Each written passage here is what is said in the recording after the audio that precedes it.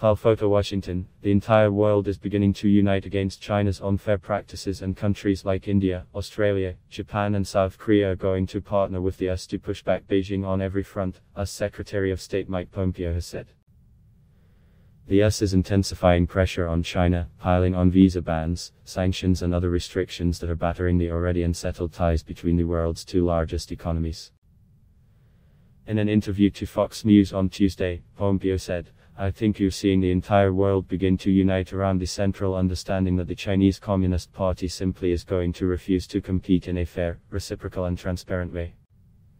So, whether it's our friends in India, our friends in Australia, friends in Japan or South Korea, I think they have all come to see the risk to their own people, to their own countries, and you'll see them partner with the US to push back. China on every front that we've talked about this evening, he said, responding to a question posed by the host, Lou Dobbs, on India reportedly sending a warship into the South China Sea. Dobbs said India's act was in response against the clashes on the border with China, and also it appears with some affinity with the US Navy that is in the South China Sea. Dobbs wanted to know the importance of the US relationship with India in meeting the threat from China. It's central that we have friends and allies in this battle. We've worked for two years now to build that up. We've made real progress. You've seen lots of countries turn away from Huawei. You've seen them acknowledge the threat.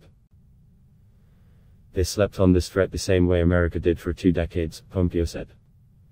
Beijing claims almost all of the 1.3 million square mile South China Sea as its sovereign territory.